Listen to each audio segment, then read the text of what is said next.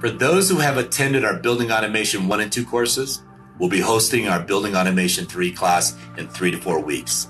You'll learn about advanced programming techniques and high speed network. You'll design, complete, and present a class project and learn about enteliWEB's exclusive derived network architecture. Create a database for a network controller by following predefined processes of design, installation, database creation, checkout, startup, programming, and commissioning for a network environment.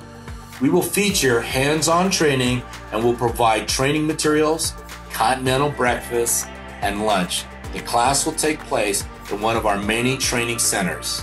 We're looking forward to seeing you soon.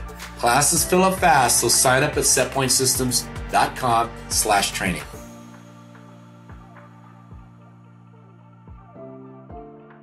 Thanks for watching this SetPoint Systems video. Please subscribe to our YouTube channel and click the notification bell to be notified when new videos are released. If you'd like more content like this, let us know in the comments below.